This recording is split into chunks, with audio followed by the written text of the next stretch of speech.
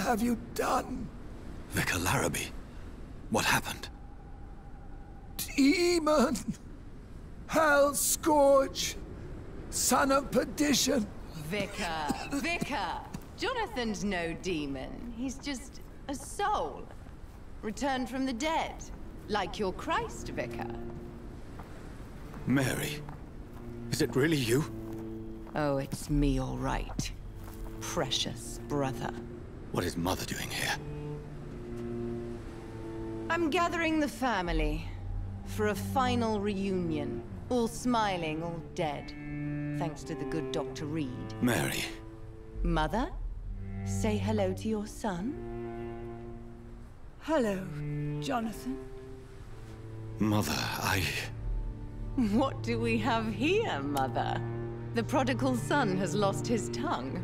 Our Jonathan always had the first and last word at dinner. The entertainer, the star of our show. I'm sorry. Let me explain. Shut up. It's my turn to do the talking. I have this nasty hole in my chest, Johnny. It needs to breathe. Of course. You can speak.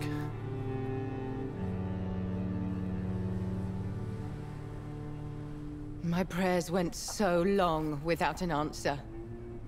My husband, killed in France. My child, carried away by the flu. My brother promising to return in his letters, then disappearing in thin air. I went from hospital to hospital.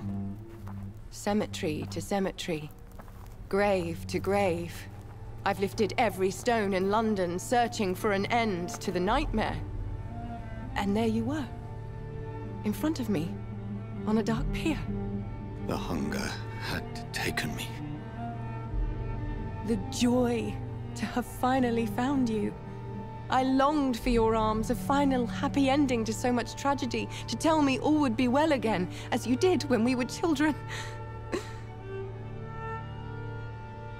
It was this filthy dock where you greeted your sister. I dug a tunnel from my grave with my fingers and teeth.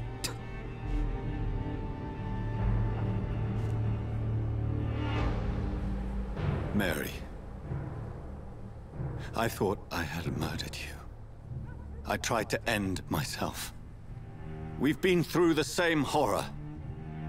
We are a disease, Jonathan. A sickness that corrupts all it touches.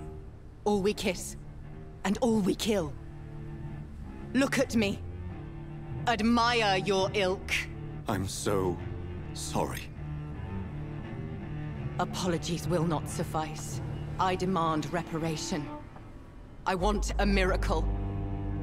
Are you a miracle worker, Dr. Reed? No?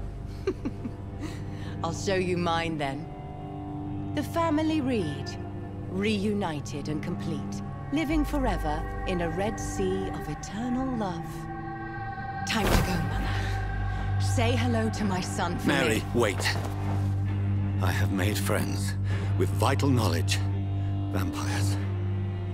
We are not alone, Mary. With time, we can learn to live almost as we lived before. How long? What? How long will this masquerade continue? I've been watching you. All these nights in Whitechapel pretending you're still a doctor. You believe you're just fighting a disease. But it's you, the disease. Jonathan, you! I'm a scientist. I'll find a solution. Let our mother go, please. You're always the one to sway me to reason, Jonathan. But before, your motivations were always pure. Now you're tainted. Let her go! She has no part to play in this. Very well. Have you heard our good doctor? You can go home, Mother. Go home and rest in peace. Yes, I'll go home and rest. It's so easy to make them obey or forget puppets for our pleasure. I've seen you have your fun. You are mad. Oh, so that's what I am, Doctor. Mad. I was beginning to wonder. I I've been hearing these voices in my head, one in particular, that of my dead brother. This is the reason I must kill you. Not for your betrayal. Not for our poisonous kiss. Not even for the lies you tell yourself. No. It's so that smooth and wicked voice will stop ringing in my ear. Mary. No, don't! Time to die, brother. And this time for good. Me, brother.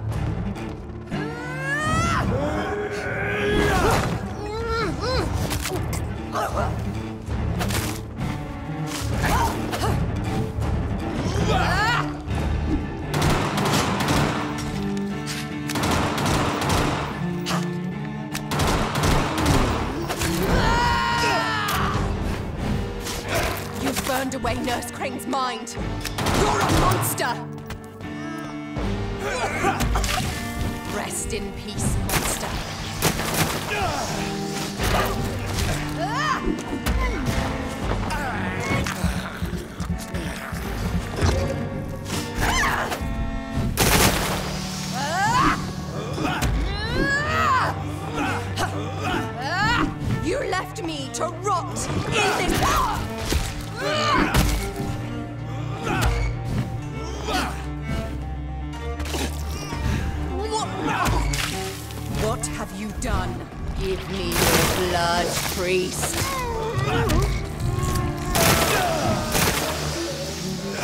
Final thoughts are just to die for.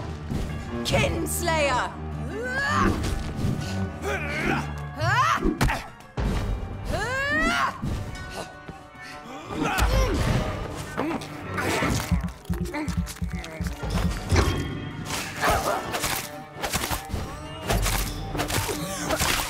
Come to me, Jonathan.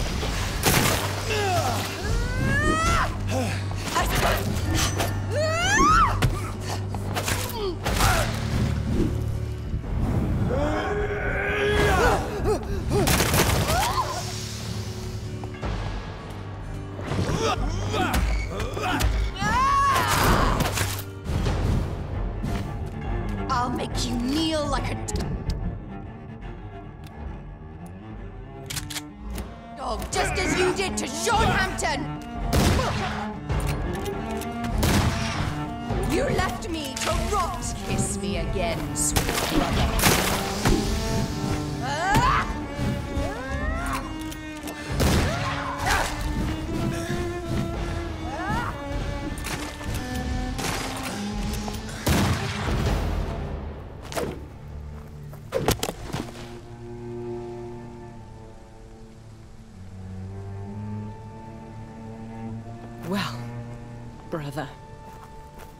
It's time to bring this conversation to an end. Forever. You know I will not play this game. Calm now, Doctor. Like a rabid dog. Or think you're performing an autopsy. Don't be ridiculous. I'll kill them all. The kind Dr. Swansea. The sweet little lass with hair of red. I am the Harbinger, bringing your punishment. Mary. Don't you see? This is not me. Flesh that never ages. All nightmare, no dream. Bring it to a close. Let me sleep.